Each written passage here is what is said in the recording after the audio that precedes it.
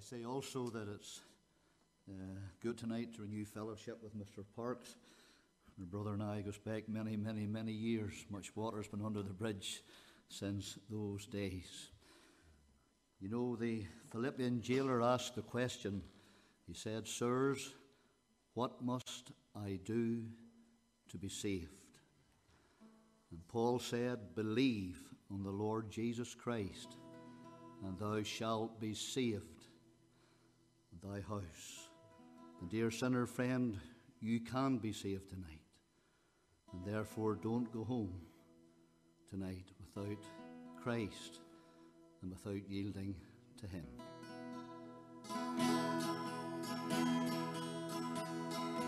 Upon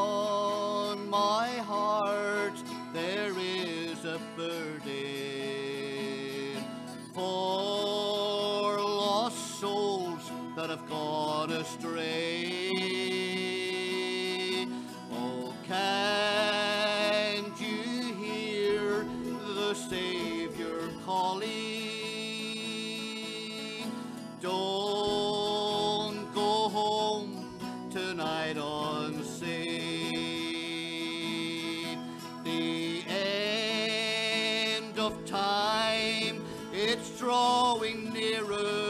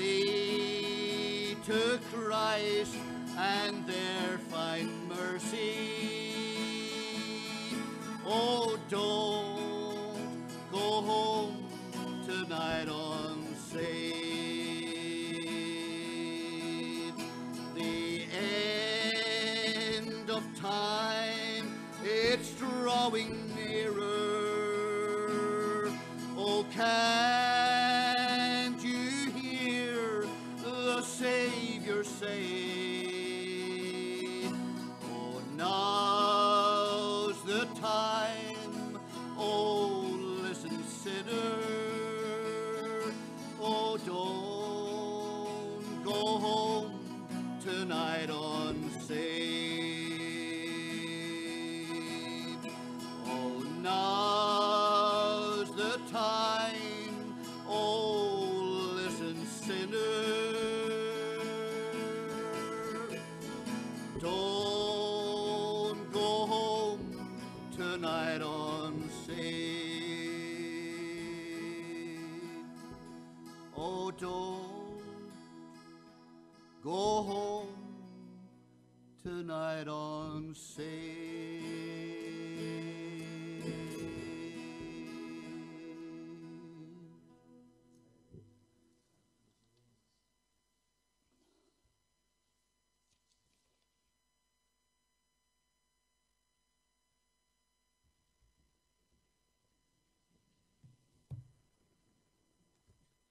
Thank you very much, James, for that ministry tonight. You know, if there was never a sermon preached tonight, there's already been one preached, and that last message and song. And I trust the words of that message will ring on in your mind. Uh, don't go home tonight unsaved. And uh, we trust that God will indeed come in saving power into our gathering. Nice to have had have fellowship again with James. As he said, we do go back a long way. And uh, that can be said for a lot of people. When you get to my stage in life, uh, you're always meeting a lot of people that uh, we've had a long relationship with. And it's been a great joy uh, personally to be involved in the mission. It's been a great privilege. Uh, it's always a privilege to preach the gospel, to share the word of God. Uh, but I was looking forward to sharing in this mission. I can say that from my heart, and uh, God has, I've not been disappointed. The fellowship has been wonderful, and just the sense of God and the Spirit of God in the meetings has been very, very real, very blessed, and uh, to enjoy fellowship and friendship with so many of you. Many of you I do go back a long way with, uh, Brother Trevor as well. I think we go back even much longer than with James. And uh, of course, with Brother Paul Johnston here and Philip, many, many others. It's been a great privilege. Thank you for giving me that opportunity, giving me that privilege. And, uh, you know, when you get to my stage in life, gospel missions have always been very special to me. And I've always enjoyed evangelism. I've been involved in the pastoral work and some Bible teaching and so forth. But gospel missions have always been special. I suppose it's where I started out in faith mission work. And uh, I've always enjoyed missions. And uh, when you get to my stage in life, you don't know if this will be the last one or not. And I don't know, but only God knows that. But whatever, we have great memories of the mission, and we thank God for it. I will be here on Sunday night, not uh, in the pulpit, uh, but to join you again for the final night of the mission. Now, we're turning tonight to the Old Testament, turning to the book of Proverbs. Book of Proverbs, and we're reading from chapter 1. Book of Proverbs, chapter 1.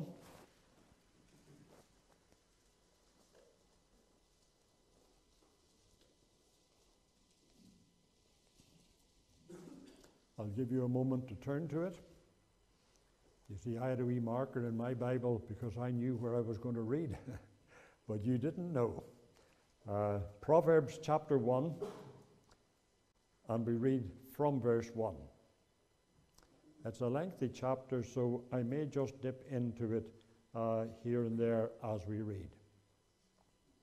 The Proverbs of Solomon, the son of David, king of Israel to know wisdom and instruction, to perceive the words of understanding, to receive the instruction of wisdom and justice and judgment and equity, to give subtlety to the simple, and to the young man knowledge and discretion.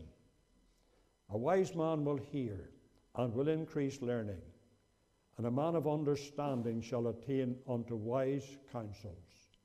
To understand a proverb and the interpretation, the words of the wise, and their dark sayings. We'll skip over to verse 10. My son, if sinners entice thee, consent thou not. If they say, Come with us, let us lay wait for blood, and let us lurk privily for the innocent without cause. Let us swallow them up alive as the grave, and whole as those that go down to the pit. And then to Oh, to verse 15. He says, My son, walk not thou in the way with them, and refrain thy foot from their path. And then verse 20. Wisdom crieth without. She uttereth her voice in the street. She crieth in the chief place of concourse, in the openings of the gates, and in the city she uttereth her words, saying, How long, ye simple ones, will ye love simplicity? And the scorners delight in their scorning, and fools hate knowledge. Turn you at my reproof. Behold, I will pour out my spirit unto you, and I will make known my words unto you. Because I have called and ye refused, I have stretched out my hand and no man regarded.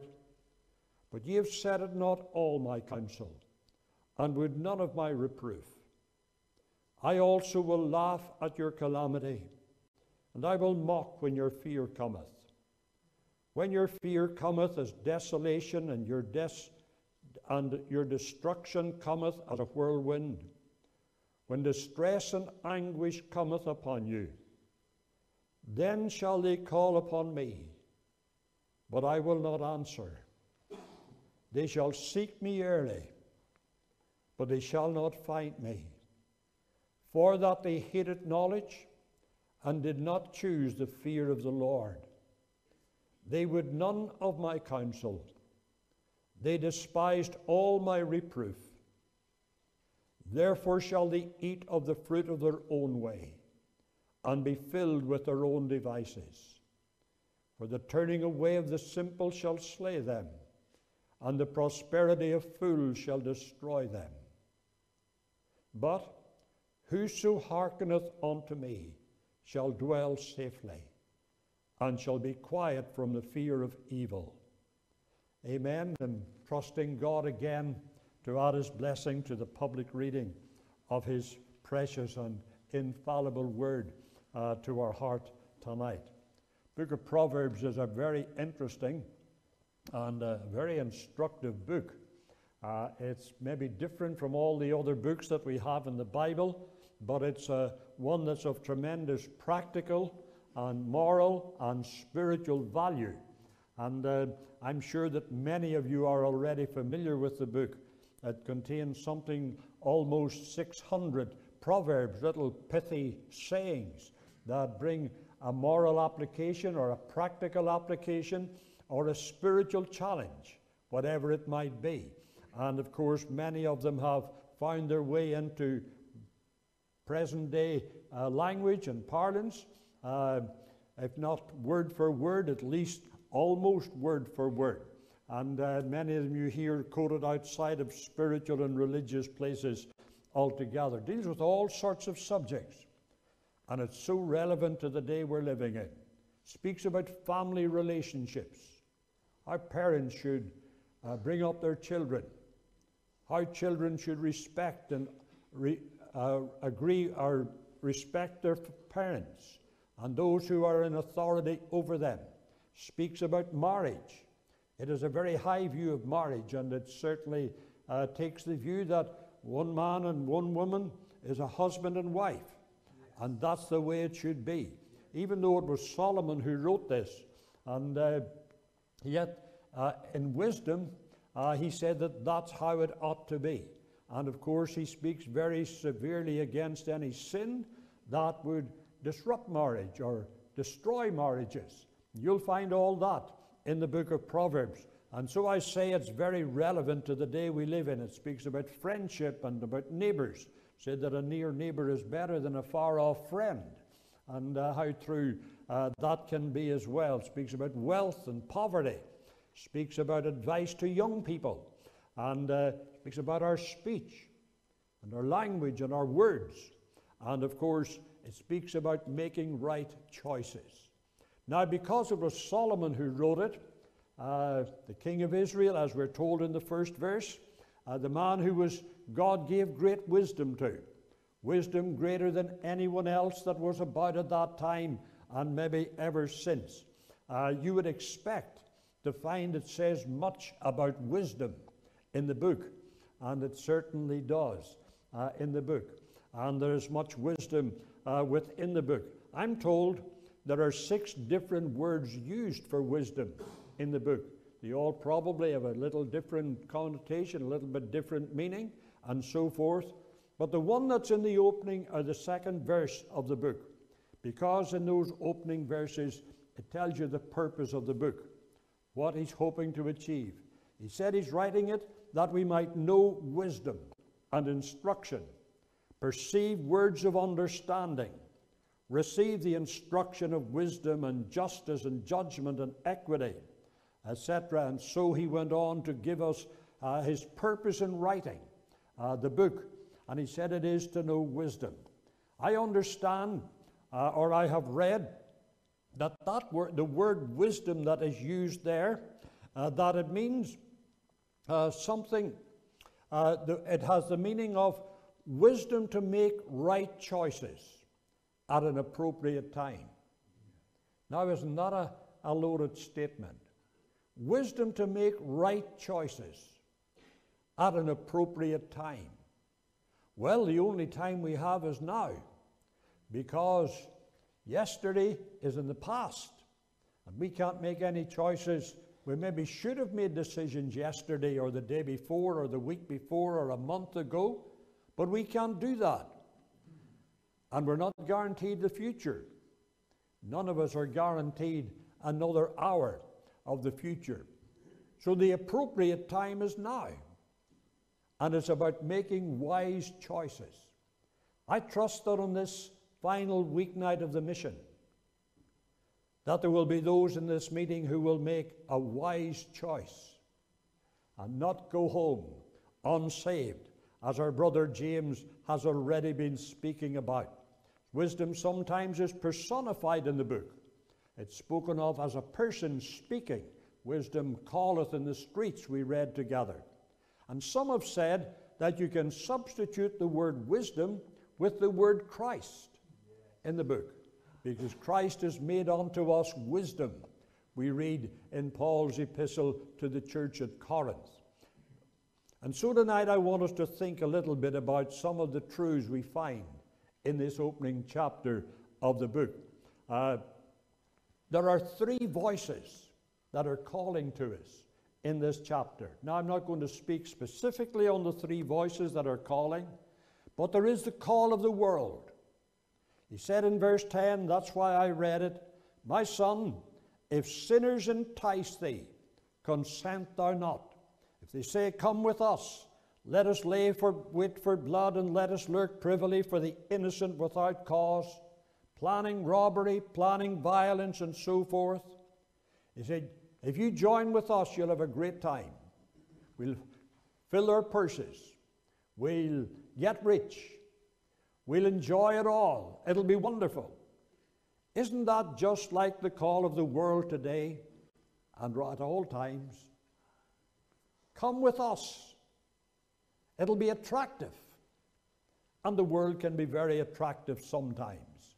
Well, most times. Because it appeals to the, the sin nature that's within us. But you know, the world is not only attractive, and the call of the world is not only attractive, but it's destructive. Because the writer here said, Surely in vain is the net spread in the sight of any bird. They, wait, they lay wait for their own blood, and they lurk privily for their own lives. So are the ways of every one that is greedy of gain, which taketh away the life of the owners thereof.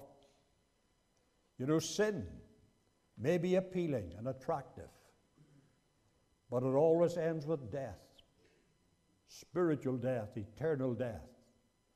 And even apart from the eternal death that it brings, sin brings many miseries, many heartaches to men and women and to young people. Not only does it speak about the call of the world, it speaks about the call of wisdom. And that's what we want to talk about a little bit tonight. Uh, from verse 20 onwards, wisdom crieth without.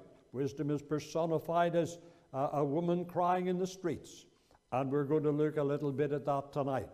And then there's call, a call of warning from verse 25 onward.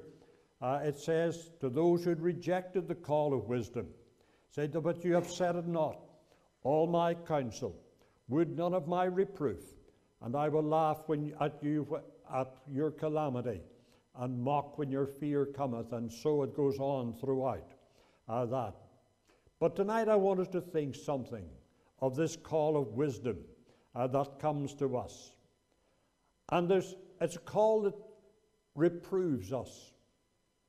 And I want us to take it as the, the voice of God speaking to our heart, the reproving voice of God.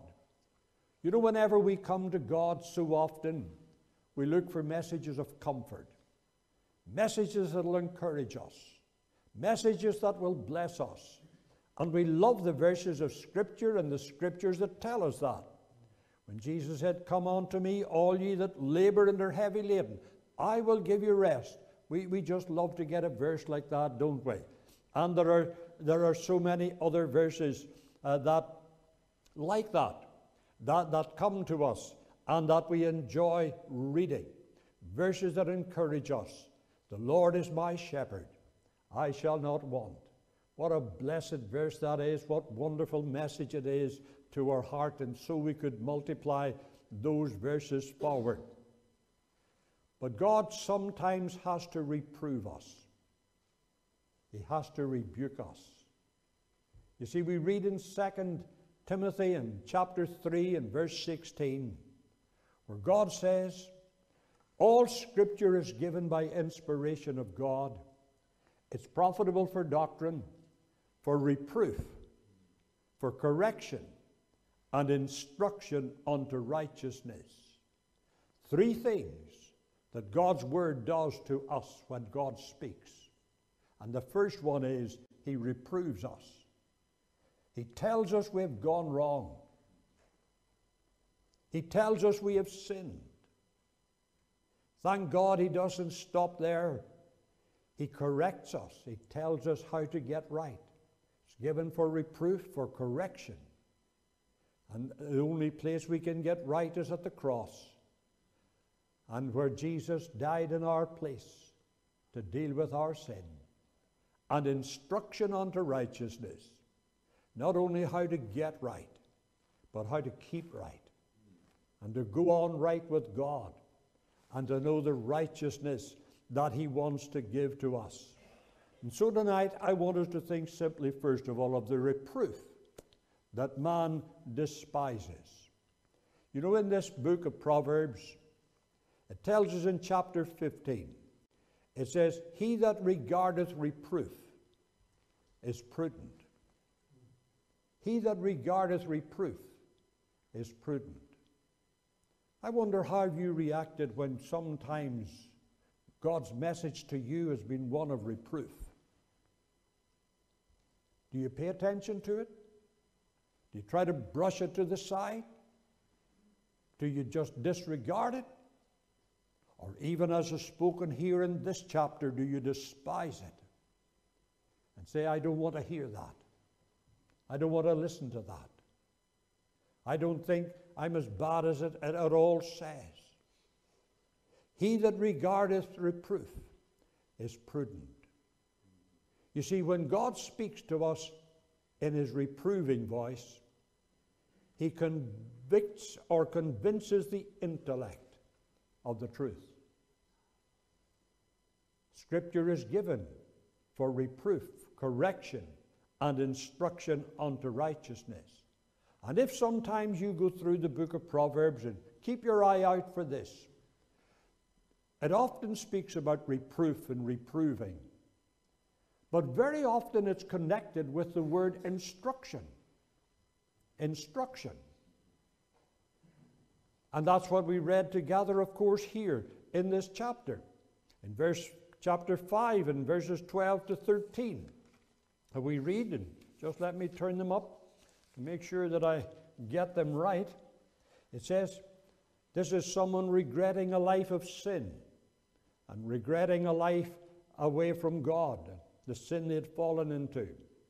And, and he says, How have I hated instruction, and my heart despised reproof, and have not obeyed the voice of my teachers, nor inclined my ear to them that instructed me.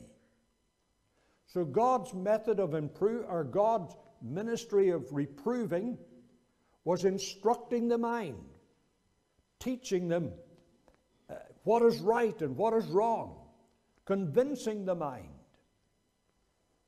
And I trust that as you have listened to the gospel in this mission, and in many a previous mission, that you've come to the place where you have to acknowledge in your mind you believe what we say.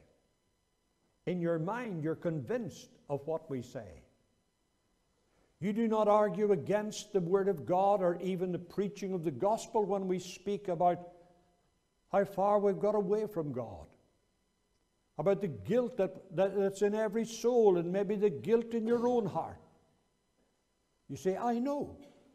In your mind, you know. You understand that you're a sinner. You understand that you're separated from God. You understand all about that.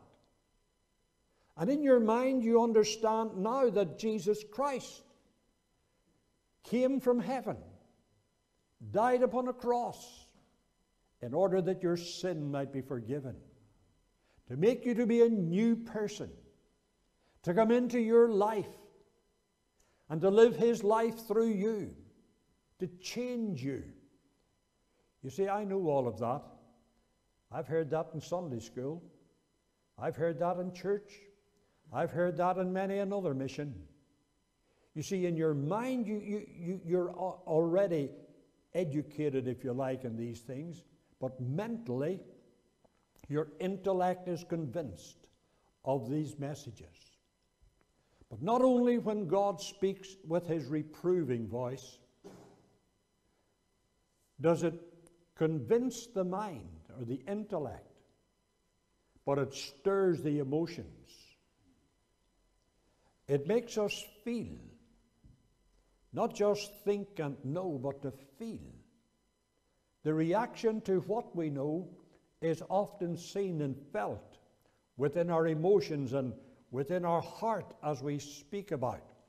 You see, the reproving voice of God stirs our emotions to feel our guilt, to feel our regrets over sin, to feel our shame about sin. It makes us feel that, to feel a fear of being lost, Maybe a fear of the Lord Jesus coming back and being left behind, as we spoke Sunday night, and you know that you're not ready. In your mind, you're already convinced of that. But now in your heart, your emotions have been stirred, and you feel that, convinced of that. You remember in the Acts of the Apostles, the day of Pentecost, whenever the Peter preached, and Peter preached about Christ that they had rejected, and he said, You delivered him to be crucified, but God has raised him from the dead, and he preached the gospel.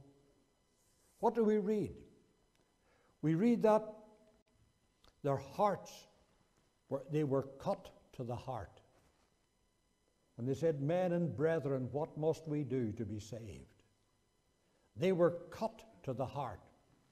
That phrase means they were just torn apart. They were emotionally upset and stirred.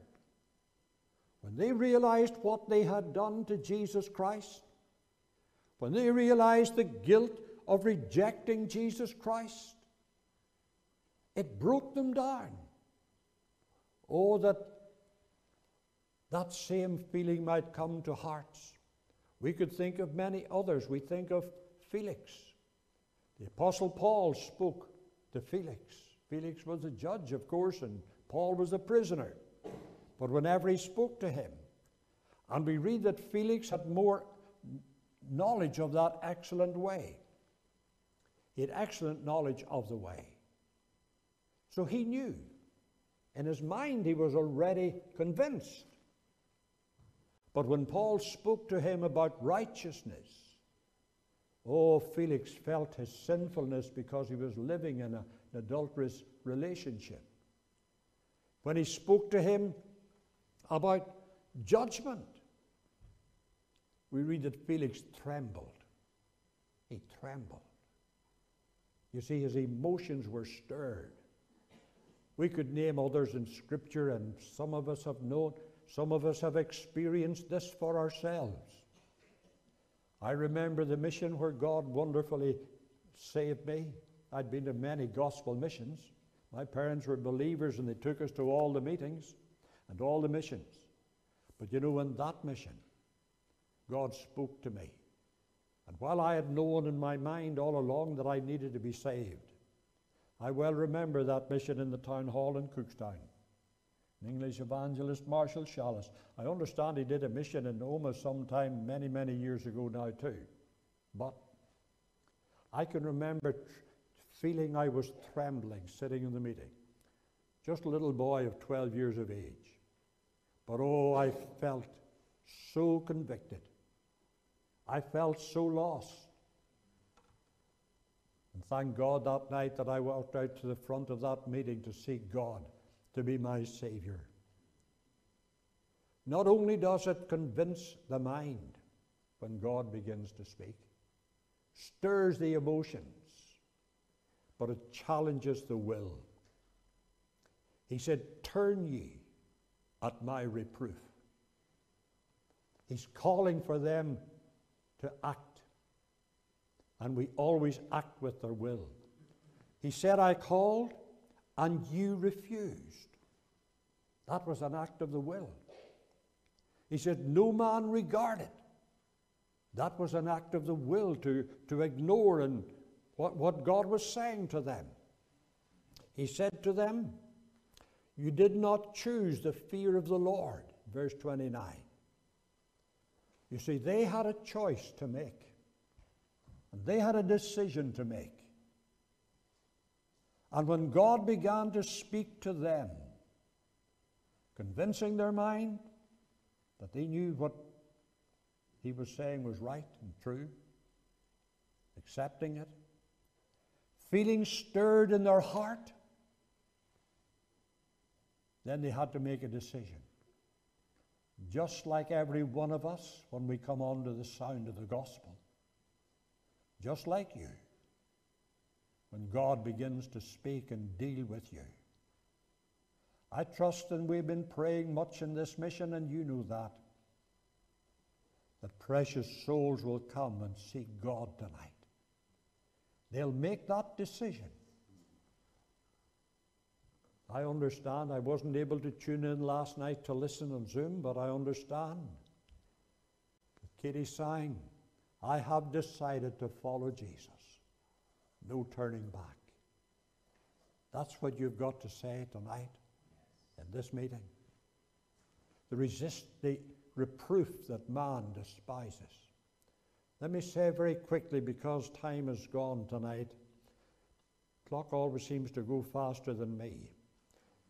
The resistance that man displays. God reproves. But he said, man displays a resistance. He said, You've despised all my reproof. You would have none of my counsel. They rejected his voice, they rejected his word. If we were to turn over to chapter 29 of this book, we read there in the first verse, He that being often reproved hardeneth his neck shall suddenly be destroyed, and that without remedy.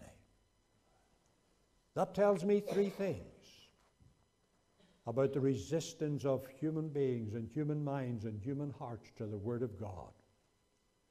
There's been a persistent refusal. He that being often reproved.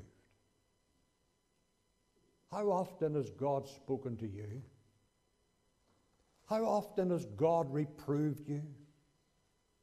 How often have you felt the tug of the Spirit of God in your heart to come to the cross and to come to Christ and to get saved? He spoke to you when you were a child, perhaps. Sunday school. Maybe at your home as your mother or your father taught you the Bible and the Word of God, and maybe godly parents that taught you the, the way of salvation. Maybe a long time ago now. But you can still remember that. Or maybe as a teenager, a young person.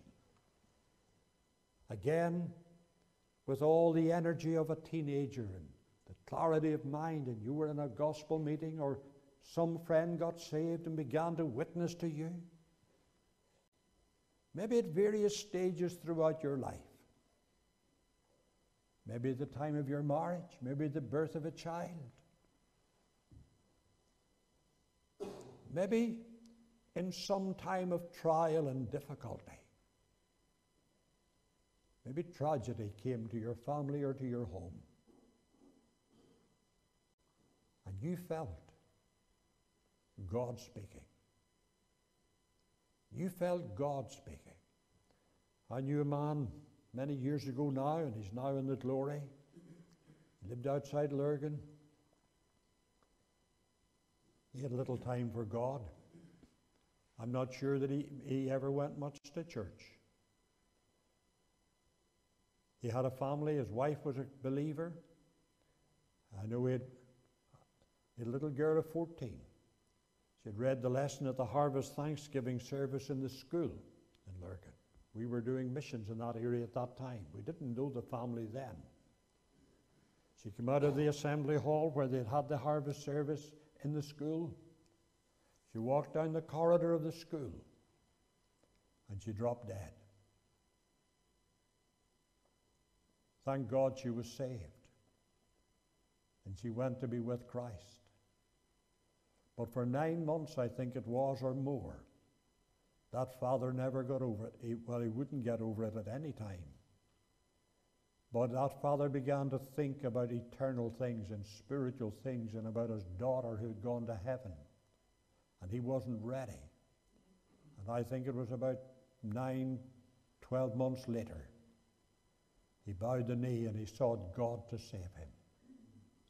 See, God spoke to him through circumstances in life. How often has He been speaking to you? Through this mission? In previous missions? At various times? In your life? In various circumstances? Maybe just through the very goodness of God. See, we read in the book of Romans Knowest thou not that the goodness of God leadeth thee to repentance. Some people ask sometimes, why does God bless people that have no time for Him? Why has God prospered people that are not Christians? Maybe they take His name in vain. They curse and they swear, and yet somehow it seems God's been good to them in many ways. He's been good to you and given you a good family, comfortable home, and all of that. Everything we have, it's God who allows it and gives it to us. Why does God do that? Knowest thou not that the goodness of God leadeth thee to repentance? It is that we might acknowledge his goodness, repent of our sin, and trust the Saviour. But not only is there a persistent refusal, there is progressive hardening. He that being often reproved hardeneth his neck. Oh, it's a reality in many lives. Writer in the book of Hebrews said, Today, if you will hear his voice, harden not your heart. See, we read in the Old Testament about Pharaoh, don't we? And we read that God hardened Pharaoh's heart. You get that? God hardened Pharaoh's heart. Now, why would God harden Pharaoh's heart? Because God, first of all, Pharaoh hardened his own heart against God. Whenever Moses went to Pharaoh, asked for the children of Israel to go out of the land just to worship God, he said, Who is the Lord that I should know him? I know not the Lord. He defied God. He hardened his heart. And then every time after that, God hardened his heart. God hardened his heart. You remember Herod in the New Testament? John the Baptist witnessed to Herod. And then, whenever John the Baptist, Herod, of course, was living in sinful relationship, he had John the Baptist beheaded. But then, whenever Jesus Christ was put on trial, they sent for Herod and sent him to Herod. And Herod was glad because he had many things he wanted to ask him. But Jesus answered him not a word. Not a word. What happened? God's voice to Herod was through John. And John cut off the voice of God. And then God had nothing more to say to him. His heart had been hardened. And then it speaks about a perished hope shall suddenly be destroyed, and that without remedy. We read in these verses where we were speaking together, reading together tonight, in chapter 1 in the book of Proverbs here, where he said, Because I called and you refused, I stretched out my hand and no man regarded but have set at naught all my counsel and would none of my reproof. There's your persistent refusals. God says, I will laugh at your calamity and mock when your fear cometh. He said, Then shall they call upon me, and I will not answer. They shall seek me early, but they'll not find me. What's God saying? He says, When I was calling and inviting them to come, they wouldn't come. The heart was hardened. Now, whenever they, and some, whenever they're at the end of life, and they call on God because they know there's no other way, God says, I will not answer. I will not answer. See that little verse in Genesis 6 3 that you may be familiar with? God said, My spirit will not always strive with man. Or as the poem says, there is a time we know not when, a place we know not where, that seals the destiny of man for glory or despair. To cross that line it is to die to die as if by stealth. It doesn't dull the beaming eye or pale the glow of health, but on the forehead God has set indelibly a mark, unseen by man, for man as yet is blind and in the dark. Opportunities can go past and never return. The response that God desires, it's repentance turn you at my reproof, he said. I will put my spirit within you. He desires regeneration to make you new. Thank God tonight. He's still talking. If you still feel a stirring in your heart, if you still feel that emotion in your soul because of God's Spirit speaking to you, you haven't crossed that deadline. You can come tonight. God says, Turn you at my reproof. Turn from your sin. Turn from the world. Come back, come to Christ. And He says, I'll put my spirit within you. Thank God He'll save you tonight. He'll give you the very life of God in your soul tonight. If you'd only come. And then he said in that final verse, he says, But those who hearken unto me, those who listen to me, they shall dwell safely, and they shall be quiet from the fear of evil. Oh, they'll have peace. They'll have assurance. They'll not fear that day when we meet Christ. Wesley said in his hymn, No condemnation now I dread. Jesus and all in him are mine, alive in him, my living head. Clothed in his righteousness divine, bold I approach the eternal throne, claim the crown through Christ my own. There's no condemnation to them that are in Christ Jesus. If you come tonight, you need never fear condemnation because there is none. Will you come tonight? Seek the Lord. God has been speaking to you. God has been reproving. And maybe you've been despising that reproof or you've been putting it off. You're maybe already aware of that progressive hardening. Whenever somehow you feel that you're not as responsive to preaching and to the gospel and to the voice of God as you were years ago, it had a deeper effect on you then. That's because you're hardening. You come before it's too late. You come tonight. May God bless you tonight.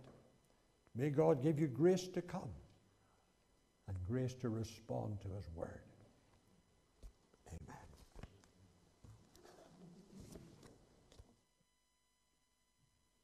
Thank you for listening to this mission message. It may be that this message has deeply challenged your heart concerning your need of the Saviour, the Lord Jesus Christ. If that is so, please contact us for help and prayer and literature using the information that will now appear on the screen. It'll be our privilege to help you in any way that we possibly can. God bless you. Your friend in Christ's service, Pastor Paul Johnston of Fintona Independent Methodist Church.